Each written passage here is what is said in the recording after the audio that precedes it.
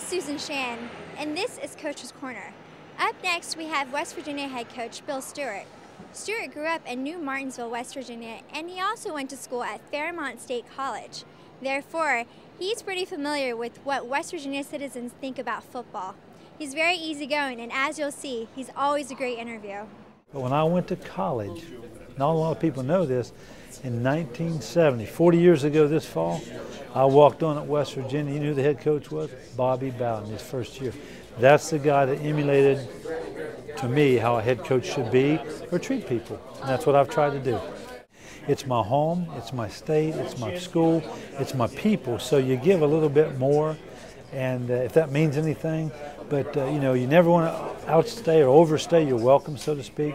But you just uh, to be one of them from back home, to be one of us, is very, very special. And all leaders in any walk of life, I've always thought this: you formulate your plan, you follow that plan, and for God's sakes, you have faith in your plan. You can adapt, you can change, but your formulated, followed, faithful plan is what's going to get you through and be successful.